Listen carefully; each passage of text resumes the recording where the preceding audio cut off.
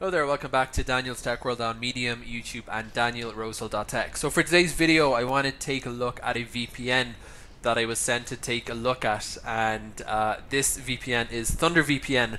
Uh, by the way, not sent to take a look take a look at this VPN from the VPN company, the vendor. So this is just my independent review and my thoughts about it. So uh, this is I thought would be interesting because it's one of those obscure VPNs that I like to uh, investigate. And the first thing, of course, in any good online investigative process uh, would be to take a look at their, uh, see what comes up in Google. So as you can see, you have Thunder VPN. Uh, they do have a listing on the App Store. Um, I'm not sure this is actually the same uh, company, and it I'm saying that because the logo looks different. Um, and the messaging is different and it's different. So this Thunder VPN here um, is thunder.freesignal.com. Now, the first thing, now, this point might seem a little bit pedantic, but there'd be a few reasons I'd be already hesitant without knowing any other details about this VPN. And, uh, you know, just looking at the fact the text here, uh, let me zoom out because it could be, okay, that, that was unfair. That was just a zoom thing. Um, but basically, I did have a point about their website. So you have uh, unlimited bandwidth, that obviously needs to, should be unlimited. Uh, no register required. I would say no registration. Worldwide needs to have a gap in it. No log or track. So the, the English is poor. It's it doesn't have its own website. It's thunder.freesignal.com. And have a look at this. The next to the copyright, the email address, if we hover over, is a uh, signallab07 at gmail.com. So personally, I wouldn't uh, entrust my. I, I, I would stop here basically if I was actually looking at buying this. I would not trust my data to a uh, VPN company that looks like it's got a free logo, and I mean it could. It, it might not be free, but that it looks blurry um, and pixelated. I mean, have a look at the quality there. Um, it's got spelling errors on its website, and uh, but it, so it is only only for um, Android. So this is a different company, uh, Signal Lab. It's only Android. Let me actually just make sure, um, just to compare these things, and just to take a look at this Chrome tool as well, because I reckon they're all different. This is by Signal Lab, and this is by New Keen Technology Limited. So they're different, not related Thunder VPNs, and this is by Advice for PC. That does look like the same thing. Okay, so they have a uh, Chrome uh, Web Store thing as well there, but um, I, they don't have a Windows client. It's in a proper client. Uh, so the one I'm taking a look at in any event is just the Android. So before I do anything, and I, just to be clear, this is a Ubuntu Linux computer, and um, I want to be taking a look at the Android client. So I'm using uh, this tool here is called Genymotion. It's just an Android emulator, but I always like to just make sure uh, when I'm doing these uh, test just to make sure that everything is working all right before I even begin. So this is my uh, internet connection uh, as I expected. It's showing 90 megabits per second, so I have an asymmetrical internet connection here. I typically get 90 to 95 on the downlink and about one or two, unfortunately, uh, only one or two on the uplink. There, there is no symmetrical internet in my area. But just before we begin, so 90 is what I'm getting here and I just want to make sure that in my emulator I get something, uh, and I, am using the same internet speed test measurement uh, device fast.com. So we're getting, you know, you can expect a small bit of variance. Um, you know, I've started this test uh, a few seconds after the first one, so one megabit per second in the difference, 1991. So I think we can call that a fair and successful cross check. Okay, so looking at Thunder VPN. Um, it's pretty bare boned firstly so when I undock the the window menu I can see um, I like to go through everything just to see get a feel for it. So I did subscribe uh, for the process of this test to their weekly plan. Um, so if I click onto my VIP account the illustrious VIP account um, I can see my order and I paid as you can see here 22 and that weird symbol here is the uh, Israeli shekel so that's my local currency.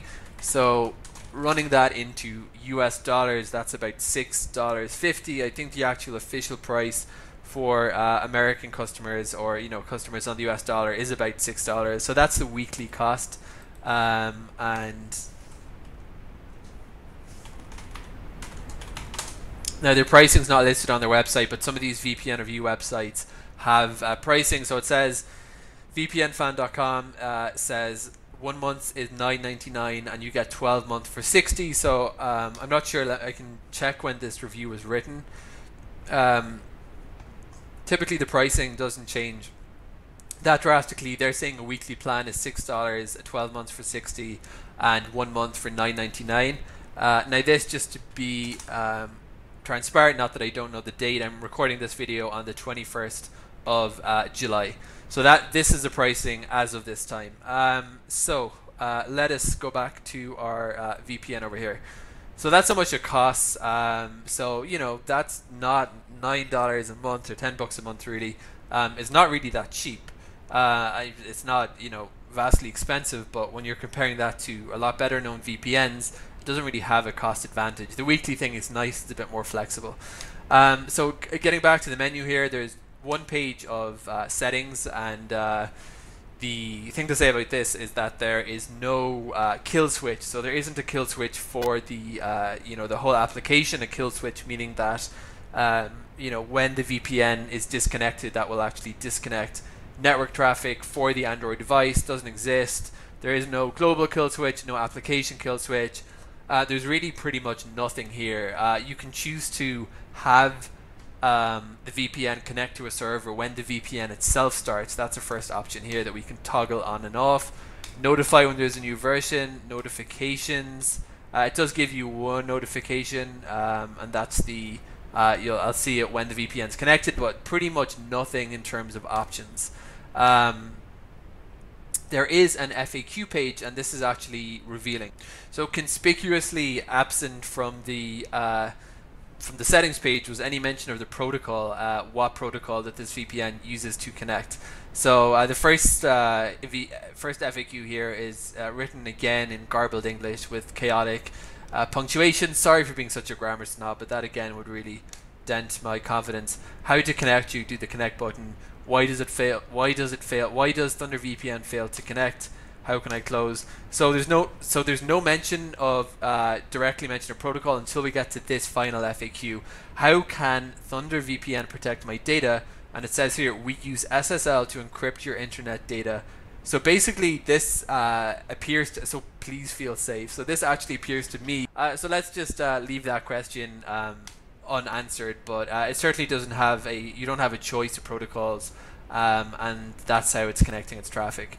So um, how you pick a server so that once you once you subscribe for their premium plans, um, you get th- these are the free servers. So you have one, two, three, four, five, six, seven, eight, nine, nine free servers, and uh, you have this nice well nice auto selecting that'll you know automatically connect to the fastest server and it looks like it's picked the Netherlands here because I am a flag wizard. So let's just quickly take a look at what we get through the Netherlands server. Um, and bear in mind that this is what it automatically selected as its fastest server in the network. So far, not very good. That's very strange because um, I have actually got some better speeds on this. That's pathetic. 1.9 megabits per second. I don't think it's going to budge beyond that. So um, that wasn't impressive. Uh, I'm just verifying we are connected here. Let's try. So I did have some better success. So there's nine uh, free servers, and when you go on to that, when you upgrade to premium, you get I counted 17. 1, 2, 3, 4, 5, 6, 7, 8, 9, 10, 11. 11 from Italy, 12, 13, 14, 15, 16. Now, uh, the strongest servers, uh, it has this little bar indication, so you can see Germany's up there on top. Let's give uh, let's give Ireland a try. And our kind of weird uh, guy is uh, doing his thing and looking happier about his life now. Um, so let's go back to fast.com. 1.8 is what the, uh, what sorry what the uh, server in uh, what it called its best server in the Netherlands uh, came out to. So that's pretty terrible. Uh, so let's try Ireland now.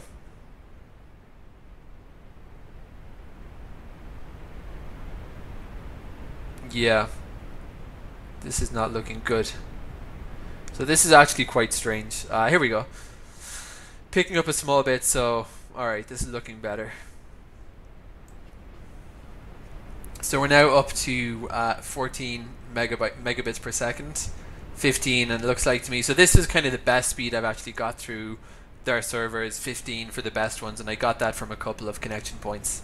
So while this testing business is going on, I'm just going to quickly put uh, YouTube onto my emulator and uh, just to demonstrate, I always like to see how video content fares through the various VPN endpoints. Okay, so we didn't did not have success. There's Google Play is throwing up an error.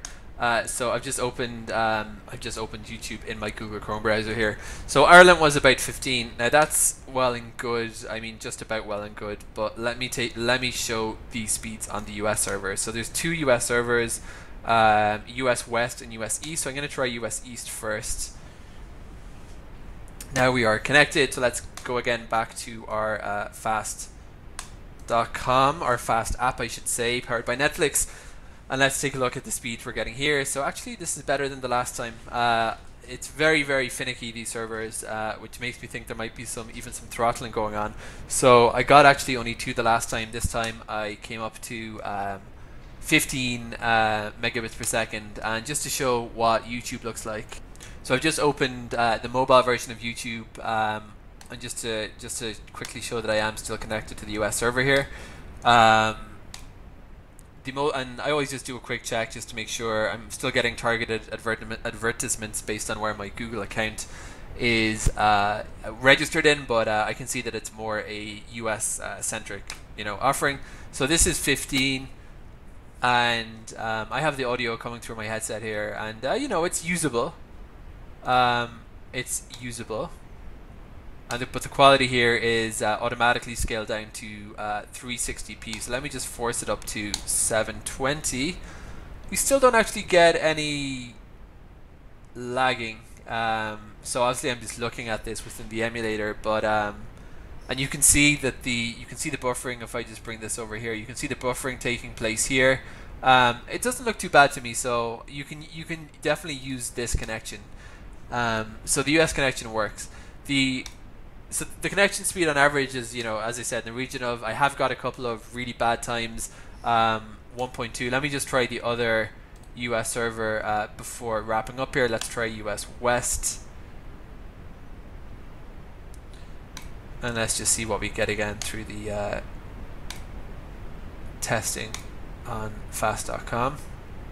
You can see Ashburn US is the was a connection point over here for the um,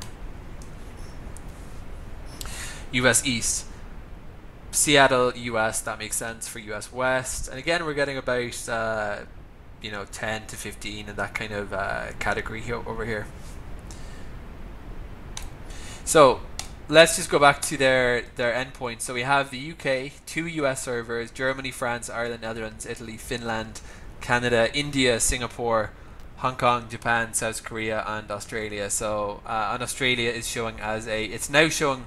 By the way, when I was trying this the last time, I got about half. At least four of these were two-star servers. So let's just quickly, to wrap up the speed test, see what a weaker server looks like. Uh, this was the only server in our list here that was getting the Australia server getting two uh, two bars only. Um, so let me just go back to fast.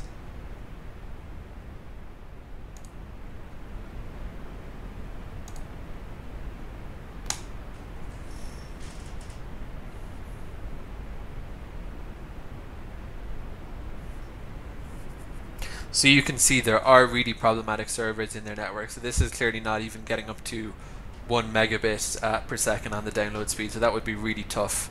Uh, 1.3. I think it's going to top out, top out at about 1.3 or there. So let's just go back to YouTube now that it's uh, moved on to the Australian endpoint. And you can see now we're getting some ABC News Australia content. Let's just try watch this video from Sky News Australia and you'd be surprised. It's scaled down to 480 and it's not actually giving me any options above 480 but at 480 YouTube is uh, is workable. So it's actually pretty hard on a you know even on a really bad connection to get uh, to have content so so that it's unstreamable but um, certainly there are as you can see limitations. So um, the final thing I would say about this Thunder VPN is going through the menu. I didn't see uh, any option for support. So we went through the FAQ page, we went through the very, very minimalist settings page. There's a share option, there's a feedback screen, which kind of looks like support, um, but it's not exactly clear what that does in your email. And again, it just kind of looks a bit amateurish. This is all in capitals. Server is full slash sleepy. I have no idea what a sleepy server means. Um, and rate us. Uh, so that's basically my concluding thoughts about Thunder VPN would be that if you're going to be spending 10 bucks a month on an Android VPN that uh, you can get a better quality product you can get a you can get a product firstly with a wider server network. You can definitely get better speeds uh, so we plummeted from 90 to about 15 on our top speed and our lowest connections were you know the region of um, 1 megabit per second. And again I have got 1 megabit per second through the US server so it seems to me that the server network uh, is not particularly stable. I'm just, I'm just seeing if there's any, if I do a refresh here, if there's any change in the bar ratings for the servers. Let's just have a quick look. Okay, this is taking a while to load, taking surprisingly. You can see there was a few that were in the two category. Uh, Japan, South Korea, and Australia. They've sped up. So um, I would say kind of just too much change in terms of the server. Not transparent about the protocol used, certainly no selection about the protocol used, relatively small server network, uh, relatively slow speeds on some servers, no clear help resource out there. So my feelings would really be that for, uh, as I said, for $10 a month on an Android VPN, you can get a better quality product. So I hope this uh, test run through of Thunder VPN has been of interest and look forward to bringing some more uh, VPN and technology product reviews onto YouTube soon.